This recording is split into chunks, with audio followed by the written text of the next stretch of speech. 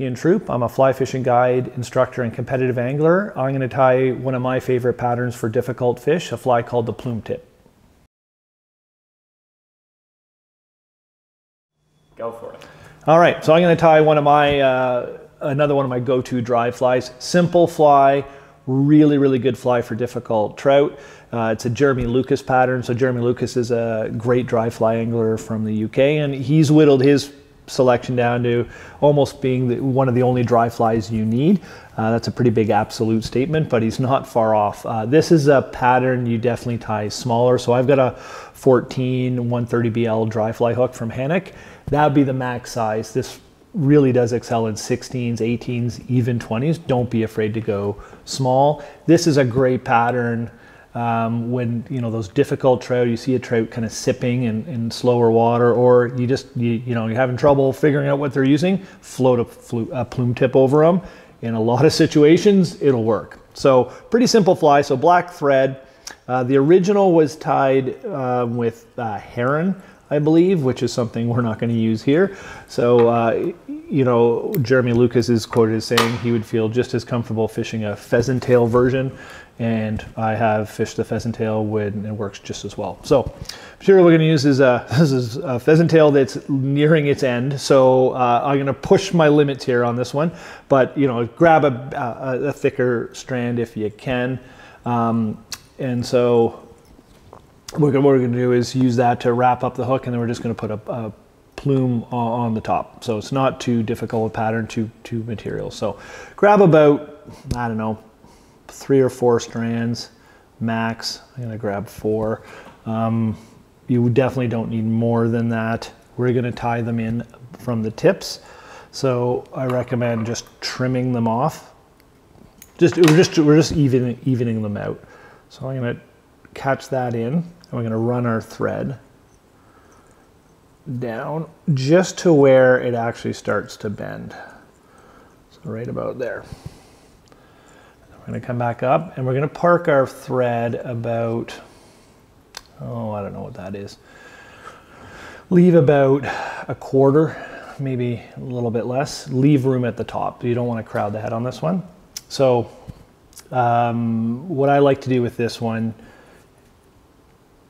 is put a little bit of glue on here. Uh, you could also wrap it around the thread. If you watch another video I do with pheasant tail, you could wrap around the thread and bring it up for extra durability different ways you could do it. So I'm going to just wrap this, this one up. But I put the glue base, which works really, really well. Another version, spin it onto the thread. I suggest you'll see another video where I do a, a pheasant tail nymph. You could do that version as well for more durability. Your choice. Another way I could do it is just spinning it like this. So we're going to go up to about there. Uh, that glue makes it a much more durable fly. The reason I do two different versions on this one is I just don't pound it as much. I find it's a more of a gentle fly. It's going to wear out with the CDC, whereas my pheasant tail nymph tends to have a longer lifespan. All right, so you can see I've built up a pheasant tail body. Now the CDC portion, this is where something you're to want a really quality CDC. So I'm gonna grab two feathers, lay them on top of each other because it's a 14. If, if you read anything with Jeremy Lucas, he goes really sparse on these. He likes one feather almost for everything. I like two. You could even go three if you wanted more floatability. But what I'm doing is I'm stacking like this and I'm grabbing as many of those fibers as I can. The reason it's called a plume tip is we're using the tip of the plume.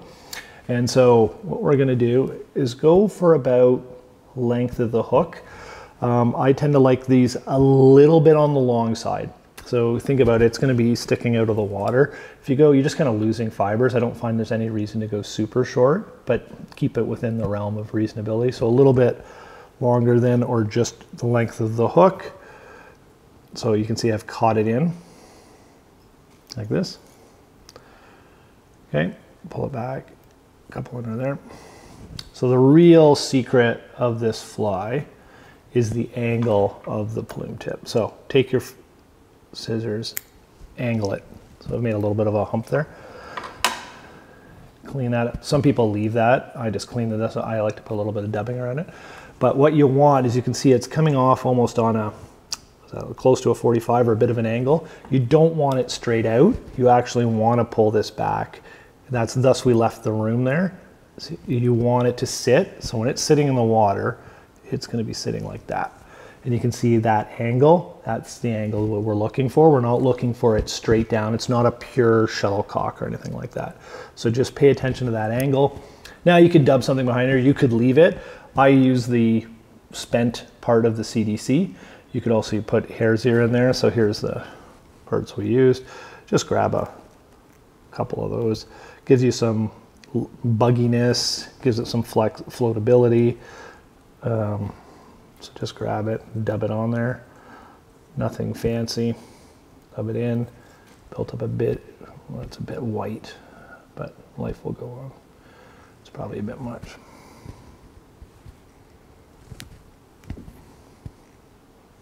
Okay, couple wraps in the front.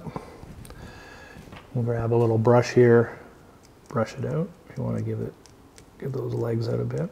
I don't think the legs make all the difference in the world, but it does make it look really, really nice. You can see you get this nice leggy, buggy fly. And then what I like to do just for me is I tilt it up just to tie off.